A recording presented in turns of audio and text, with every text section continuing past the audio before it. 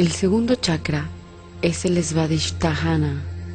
Su símbolo es el de la energía, el del entusiasmo.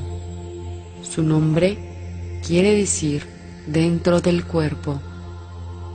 Esto se refiere a la privacidad de un ser y las gemas apropiadas son el jade y el ópalo, además de todas las piedras que irradien color naranja.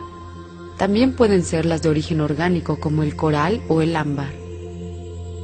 Su color es el naranja, su mantra es el BAM y el re es su nota musical.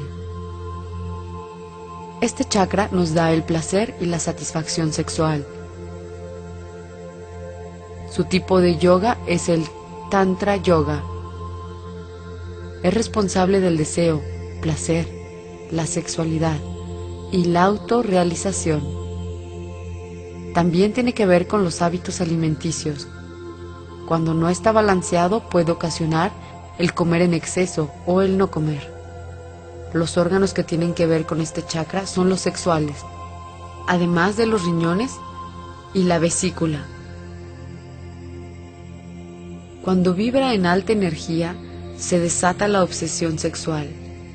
Y cuando vibra a baja energía o está bloqueado, provoca en las mujeres dificultad para lograr el orgasmo.